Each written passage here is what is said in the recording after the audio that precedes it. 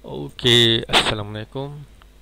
Kami daripada TheRezo.com Okey, untuk video kali ini Kami nak share berkenaan uh, Ataupun Candlestick Bacat dan Light Ataupun yang paling popular yang kita gunakan adalah uh, Candlestick seperti yang lihat ini. Ini adalah Chart Candlestick. Okey, Ini adalah bentuk Okey, jika anda tidak pernah melihat sebelum ni Ini adalah bentuk Candlestick So di, di bahagian atas di MT4 anda ini uh, ada bahagian yang anda boleh pilih. Okey, ini adalah candlestick. Okey, nampak. Okey, ini adalah bar chart. Okey. Ini adalah bar chart. Bentuk seperti ini. Ini adalah line line chart. Okey. Ini adalah tiga uh, contoh chart yang digunakan selalu digunakan tetapi yang paling senang dan mudah digunakan adalah candlestick. So ini adalah bentuk bentuk candlestick. So eh, sepat macam sebatang lilin. So jika lihat okey. Ini adalah contoh-contoh. Ah uh, okey. Kita tengok ke gambar pertama ni dulu. Okey. Okey. Ini adalah uh, basic yang ada dalam candlestick. So yang hijau ini adalah bullish candlestick. Yang merah ini adalah bearish. Ini mempunyai level high dan low dan uh, close dan open. So uh, untuk bullish uh, dia akan open uh, di bawah dan close di atas. Maksudnya uh, dia menaik dan bearish adalah menurun dan dia open daripada atas ke bawah.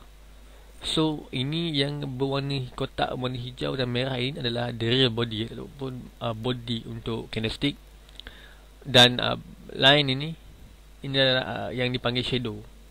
So ni upper shadow dan lower shadow.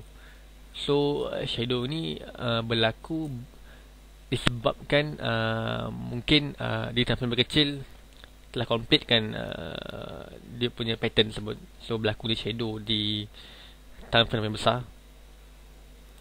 Okay, so kita ke Gambar yang kedua okay, Ini adalah contoh Candlestick pattern yang selalu digunakan. Sering digunakan uh, Dalam Dalam uh, Trading. Anda selalu lihat, pernah lihat. Okay. Okay Ini adalah uh, Bearish Trend pattern besar menurun. Sebabnya ada Pattern-pattern ini Yang sering di, Yang kita selalu, selalu nampak. Ataupun jika anda nampak Anda boleh Boleh uh, Tengok di MT4 anda Tengok chart Tengok pattern-pattern yang berlaku. Study pattern-pattern ini. So ini adalah bullish uh, pattern. Okay.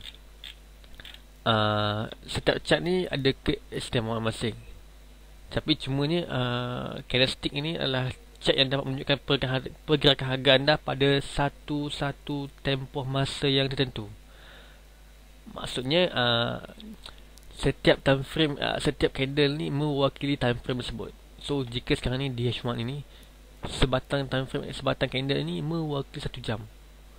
So di, daily okay, Sebatang ni Mewakili satu hari. Sama juga di M1 Jadi Satu batang candle ni Mewakili satu minit. So uh, Terdapat banyak Rahsia yang ada Dan wujud dalam candlestick ini. Sebab itulah uh, candlestick ini adalah naked chart ataupun uh, naked turn yang paling popular. Ramai uh, powerful uh, master-master trader pun menggunakan hanya sekadar menggunakan candlestick saja. Kerana dia dapat rasa-rasa di, di, di dalam pattern-pattern candle ini. So, ni lihat di S4 dan 1 ok banyak sebenarnya uh, rasa-rasa di sebalik uh, pattern-pattern candlestick ini. Yang tinggal hanya anda perlu study dan dalam dalami saja. Uh, lihat buat uh, back test buat uh, study market-market yang dahulu kerana uh, forex ini uh, berdasarkan sejarah yang lalu. Jadi jika anda mampu menguasai market-market sebelumnya tidak masalah untuk anda menguasai market-market yang akan datang. Kerana ini akan adalah satu pattern yang berulang-ulang. Jadi kebiasaan yang trade menggunakan candlestick pattern ini 90% dia punya uh, entry adalah uh, entry uh, profit Walau bagaimanapun stop loss adalah penting jika anda trade uh, menggunakan strategi uh, skap, uh, intraday ataupun swing. So anda boleh uh, lihat di Google Google saja uh, candlestick pattern banyak candlestick pattern yang anda berjumpa. Okey, uh, terima kasih jumpa dalam video akan datang. Okey.